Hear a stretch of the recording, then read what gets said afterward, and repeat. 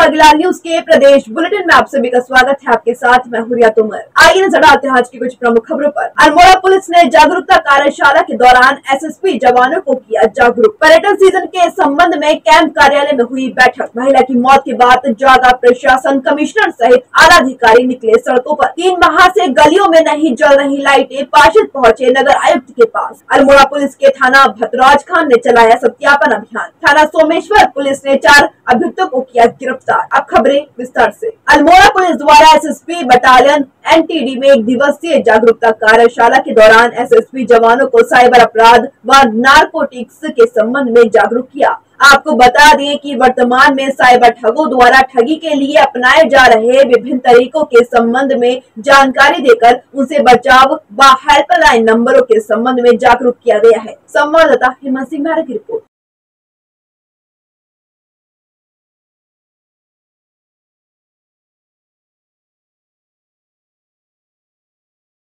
जिलाधिकारी किशोर पंत की अध्यक्षता में पर्यटन सीज़न के दृष्टिगत सड़कों के सौंदर्यकरण आदि के संबंध में एक बैठक कैंप कार्यालय में संपन्न हुई। आपको बता दें कि बैठक में जिलाधिकारी गुल किशोर पंत ने निर्देशित करते हुए कहा कि कुमाऊं मंडल में आने वाले टूरिस्टों के लिए जनपद की सड़कें भूमिका निभाती हैं। उनका कहना है कि टूरिस्ट अपने साथ बेहद सुखद व सुंदर यादें लेकर जाएँ, जिसके लिए जनपद में टूरिस्ट आवागमन वाली सड़कों का सौंदर्यीकरण किया जाए और सड़कों को गड्ढा मुक्त किया जाए संवाददाता दुर्गेश तिवारी की रिपोर्ट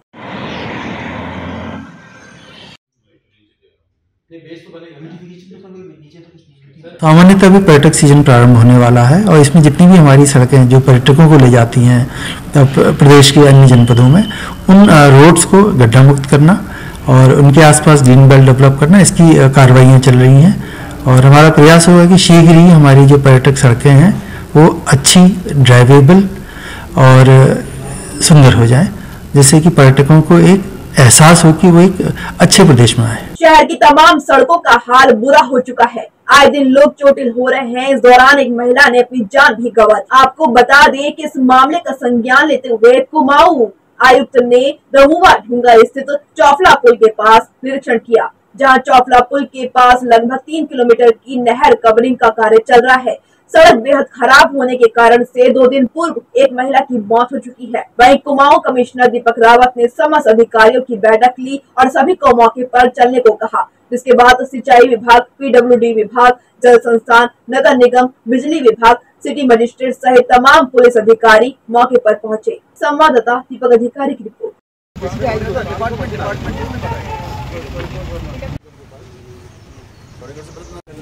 नहीं पूछ रहा हूँ मैं।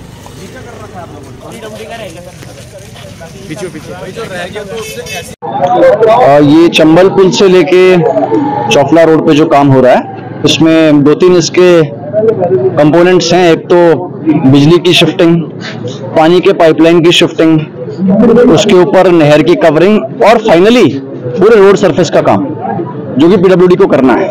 इसमें से जो नहर कवरिंग का पार्ट है, वो इरिगेशन कर चुका है।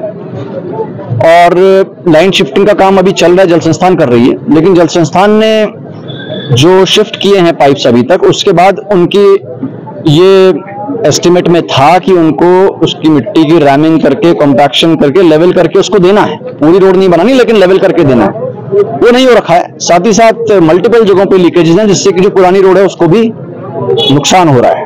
और फाइनली जिसका ओवरऑल काम है तो पीडब्ल्यूडी को करना है, जिसका एस्टिमेट उन्होंने भेजा हुआ है, जिसकी स्वीकृति हो जाएगी।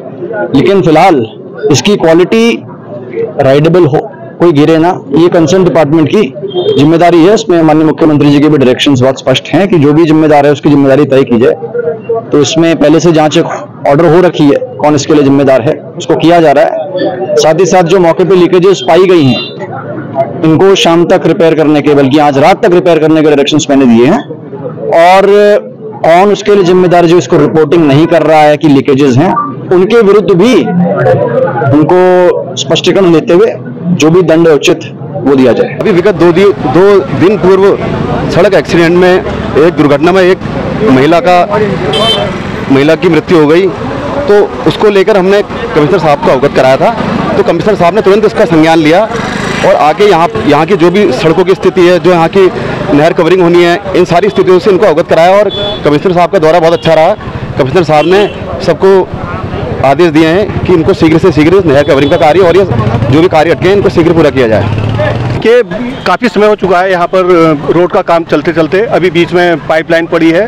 तो रोड जो है काफ़ी जगह पर गड्ढे हैं, जिसकी वजह से अभी विगत एक दिन दो दिन पूर्व एक महिला उसमें गिरकर बेचारी आकस्मिक उनकी मृत्यु हो गई। और रोड के किनारे जो पाइपलाइन है, उनमें लगातार पानी बह रहा है, क्योंकि बहुत जगह से पाइपलाइन टूटी पड़ी है। जिससे अभी सुबह के समय आज ही एक बच्चा, एक पानी का एक गड्ढा बना हुआ है, उसमें डूबते डूबते बच्चा लगभग आधा डूब चुका था।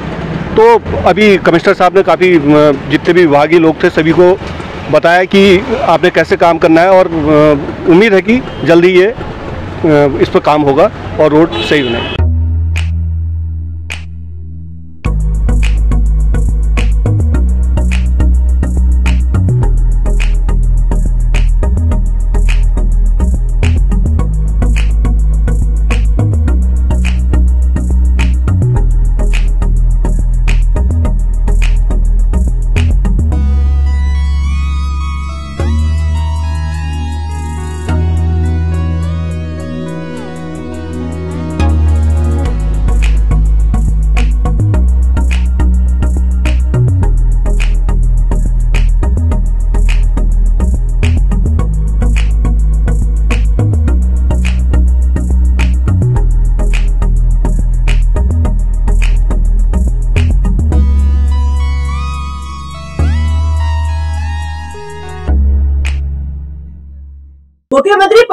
सिंह द्वारा वन विभाग की ज़मीन से हर प्रकार के अतिक्रमण हटाने के निर्देश के बाद अब विभाग हरकत में आ गया है। आपको बता दें कि विभाग ने तेज़ी से अतिक्रमण चिन्हित करने की कार्यवाही शुरू कर दी है।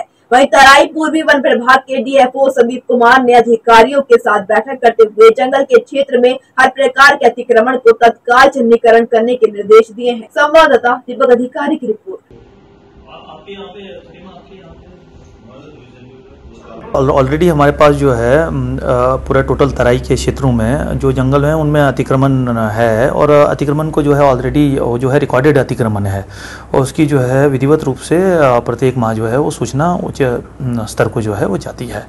और इसमें इसमें जो है, जहाँ जहाँ पे भी जो नया अतिक्रमण है, उसकी सूचना मिलती है तो हमारे पास जो है, भारतीय वन अधिनियम के अंतर्गत जो विधिवत कार्रवाई है सेक्शन सिक्सटी वन ए के अंतर्गत, उसके अंतर, अंतर्गत जो है, वो कार्रवाई की जा रही है। नगर निगम के कार्यों को लेकर पार्षदों का पारा एक बार फिर चढ़कर बोल रहा है। आपको बता दें की पार्षदों ने आरोप लगाया है की निगम कार्यो में टाल मटोल कर रहा है। वही तमाम क्षेत्रों की सोलर लाइटें केवल शो पीस बन चुकी हैं। जिसकी वजह से गलियों में अंधेरा पसरा हुआ है। इस संबंध में अधिकारियों को अवगत कराया जा चुका है, मगर अभी तक कोई सुनवाई नहीं हुई। वहीं नाराज़ पार्षदों ने नगर आयुक्त पंकज कुमार उपाध्याय को ज्ञापन सौंपा है, जिस पर आयुक्त ने शीघ्र जाँच कर सभी समस्याओं के समाधान की बात कही है। संवाददाता दीपक अधिकारी की रिपोर्ट।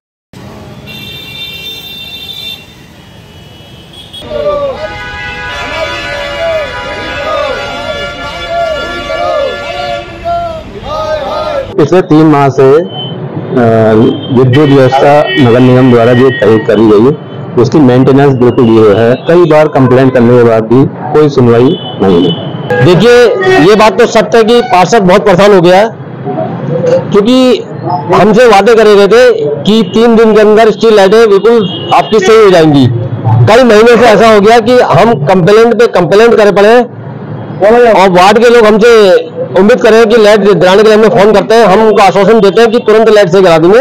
लेकिन अभी इससे ये समय आ गया कि हम कंप्लेंट पे कंप्लेन करते हैं हमारी लाइटें सही नहीं हो पाती बिल्कुल भी। सारे वार्डों की व्यवस्था पूरी चौबट पड़ी हुई है। किसी गली में चले आओ। रमज़ान का टाइम चल जाए इस समय। सब गलियों में अंधेरा पड़ा हुआ है। और नगर निगम ने जब से इस कंपनी को ठेका दिया है इस कंपनी के कर्मचारियों ने काम करना बिल्कुल बंद कर दिया है। जब तक नगर निगम खुद करती थी, इसकी स्वयं मरम्मत तो उस समय व्यवस्था ठीक थी। लेकिन जब से इन्होंने एलईडी के नाम पे जो बिजली बचाएँगे, उसके नाम से जब से ठेका दिया है। सारे शहर की सफ़ाई, वो स्ट्रीट लाइट व्यवस्था पूरी चौपट पड़ी हुई है। पाँच पाँच छह छह बार कंप्लेन कर रहे हैं पार्षद को। और यहाँ पे जो लोगों ने रखा ऑनलाइन नंबर के माध्यम से शिकायतें दर्ज कराई है। आप यकीन नहीं मानेंगे, एक एक पार्षद ने एक एक आदमी ने दस दस कंप्लेन कर रखी है, उस पर कोई अमल नहीं हो रहा, उसको खाली ये पैसे दे रहे हैं। देखिए, हम जो ये वार्डों में स्ट्रीट लाइटें हैं, उसको लेकर के हम बहुत परेशान हो गए पार्षद इसलिए आज हम जो है, ये यहाँ पर आए हैं। और समस्या ये है कि जो निगम ने ठेका दिया है ना ईएसएल कंपनी को, ये सिर्फ़ पैसे की किस्त पहुँचाने का काम कर रहे हैं, बाकी काम हो रहा है, नहीं हो रहा है, इनको कोई पता नहीं। निगम इस चीज़ को नहीं देख रहा है। हम लोग परेशान थे दस दस कंप्लेंट करने के बाद हमारे यहाँ वाइटों में लाइटें सही नहीं हो रही है। सफ़ाई व्यवस्था इतनी बुरी है कि कर्मचारियों पे कोई लगाम नहीं है, इनको देखने वाला कोई नहीं है। मतलब सारा सिस्टम यहाँ मैं देख रहा हूँ निगम के अंदर पूरा बिगड़ा पड़ा है, सफ़ाई व्यवस्था बिगड़ी पड़ी है स्ट्रीट लाइटें ठीक होने का नाम नहीं ले रही है, कोई देखने वाला नहीं है, यहाँ हम अधिकारियों के से हमने मिलना चाहा, लेकिन यहाँ कोई अधिकारी हमें नहीं मिला। एसएसपी अल्मोड़ा के निर्देशन पर थाना भद्रौज खान पुलिस द्वारा थाना चौकी क्षेत्र में निवासरत बाहरी व्यक्ति, मजदूरों व किराएदारों के सत्यापन हेतु चेकिंग अभियान चलाया गया। इस दौरान 20 किराएदारों व मजदूरों का सत्यापन किया गया। आपको बता दें कि भिकिया सैड चौकी क्षेत्र में एक मकान मालिक द्वारा अपने किराएदार का पुलिस सत्यापन नहीं कराने पर संबंधित व्यक्ति के विरुद्ध पुलिस एक्ट के तहत दस हज़ार रूपए का कोर्ट चालान की कार्यवाही की गई है। संवाददाता हेमंत सिंह भारत की रिपोर्ट।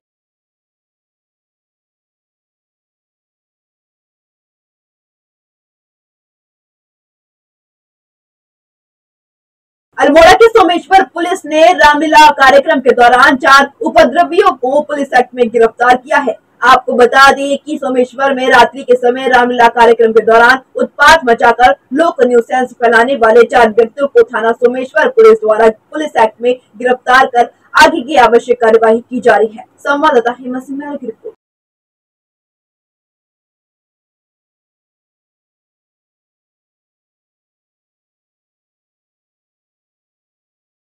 कहाँ हैं सब लोग? शाम की चाय तो एक साथ होनी चाहिए। सब लोग एक साथ बैठना ही नहीं चाहते। पापा ट्राई दिस लो सब लपक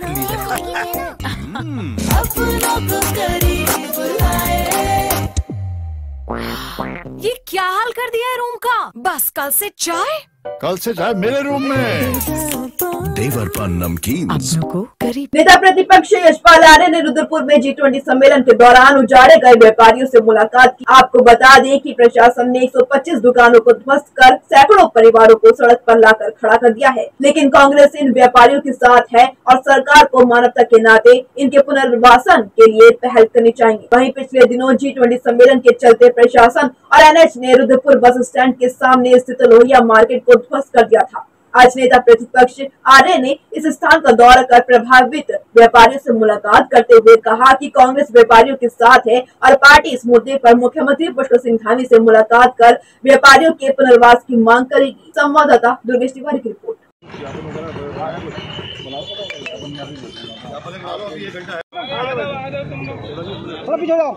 भैया भैया भैया जाओ के नाम पर एक सौ पच्चीस दुकानों को ध्वस्त कर दिया गया। और 125 परिवार हैं, जो आज सड़क पर अपने न्याय की गुहार लगा रहे हैं। और मेरा मानना है कि उन्होंने भरसक कोशिश की होगी कि भारतीय जनता पार्टी की सरकार के नुमाइंदों से फरियाद की होगी, लेकिन मुझे लगता है कि इनकी कोई सुनवाई नहीं हुई है। और इस अन्याय के खिलाफ पूरी कांग्रेस पार्टी इस धर्म युद्ध में इनके साथ है। और निश्चित रूप से मेरा मानना है कि अ, सरकार को सरकार ने एक तरफ़ इनका ध्वस्तीकरण किया है दुकानों का नामो निशान मिट गया है और दूसरी तरफ़ देखने को मिल रहा है कि जो शराब की दुकानें हैं उसी दायरे में आती हैं। आसपास की दुकानें हैं वो भी उसी दायरे में आती हैं, जिस दायरे में इनको समुचे सम- समूचे रूप से खत्म कर दिया गया। ये दोहरा मापदंड क्यों है? मैं माननीय मुख्यमंत्री से बात करना चाहूँगा और हम बात भी करेंगे। हम इस अन्याय के खिलाफ ज़रूर आवाज़ उठाएँगे, मज़बूत आवाज़ उठाएँगे। पूरी कांग्रेस पार्टी इस लड़ाई में इनके साथ हैं। और मैं माननीय मुख्यमंत्री से निवेदन करना चाहूँगा कि मानवता के नाते, इंसानियत के नाते आपको इसमें पहल करनी चाहिए और जिला जिलाधिकारी उधम सिंह नगर को निर्देश देने चाहिए कि तत्काल इसमें आप कार्रवाई करें। जहाँ पर भी उचित व्यवस्था हो सकती है, जहाँ पर इनको रोज़गार सुलभ हो सकता है, वहाँ इनको ज़मीन या दुकानें आवंटित करनी चाहिए। धन्यवाद। अब देखिए, लोकतंत्र में विपक्ष की भूमिका बहुत महत्वपूर्ण होती है और विपक्ष पर भी जनता की निगाहें होती है। हम अन्याय के खिलाफ, जाति के खिलाफ, जुल्म के खिलाफ हमेशा आवाज़ उठाते रहे हैं। और ये भी इनके साथ जुल्म हुआ है। इस आवाज़ इसकी इस, इस आवाज़ को मजबूती देना हमारा धर्म है। और मैं निश्चित रूप से कहना चाहता हूँ कि हालात बदतर हैं। सर्किल रेट 120 परसेंट बढ़ा दिए गए हैं। बिजली के रेट बढ़ा दिए गए हैं। पानी के रेट बढ़ा दिए गए हैं। तो और जो शराब है वो सस्ती हो गई है। किताब कॉपियाँ पुस्तकें उनके रेट बढ़ गए हैं। ये निश्चित रूप से जो मिडिल क्लास है, जो लोअर क्लास है, उसका बोझ इस मह- इस बढ़ोतरी का बोझ निश्चित रूप से इन पर पड़ना है। महँगाई, भ्रष्टाचार, बेरोजगारी आज का मुद्दा है और हमने पूरी ईमानदारी के साथ इस मुद्दों को सदन में भी उठाया है और सड़क में भी इस लड़ाई को लड़ी, लड़ा है और आगे भी हम विपक्ष के एक प्रतिनिधि होने के नाते, विपक्ष में होने के नाते मजबूती से जनपद उधम सिंह नगर में जसपुर के नादेही क्षेत्र अंतर्गत जसपुर भूतपुरी मार्ग पर अवैध अतिक्रमण की कार्यवाही की गई, जिसमें मौके पर पीडब्ल्यूडी विभाग के अधिकारी, उप जिलाधिकारी और पुलिस प्रशासन मौजूद रहा। आपको बता दें कि सड़क किनारे खाली पड़ी कच्ची दुकानों से अतिक्रमण हटाया गया। वहीं मौके पर मौजूद क्षेत्रीय लोगों ने अधिकारियों से अतिक्रमण को लेकर बातचीत की और पुनः सीमांकन की मांग की गई है। संवाददाता दीपक चौहान की रिपोर्ट।